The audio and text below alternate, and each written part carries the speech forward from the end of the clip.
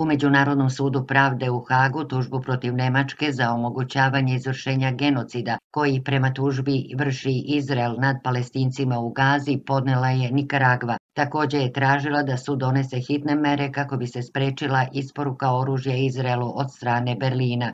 Nikaragva je angažovala upravo Nemca da bude glavni pravni zastupnik tužbe pred sudom u Hagu, a on je rekao da je patetičan izgovor Nemaca koji šalju humanitarnu pomoć u Gazu a sa druge strane istovremeno Izraelu šalju ubojito oružje kojim Izrael, kako je istakao, ubija palestinsku decu, žene i muškarce.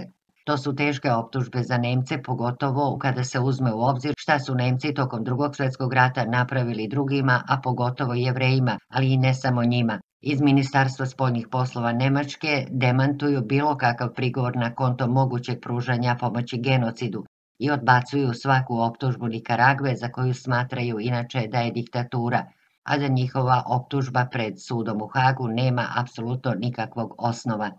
Nemački stručnjaci za međunarodno pravo ocenjuju da je pre dokazivanja nemačkog učešća u genocidu pravno gledajući potrebno dokazati da je Izrael počinio genocid.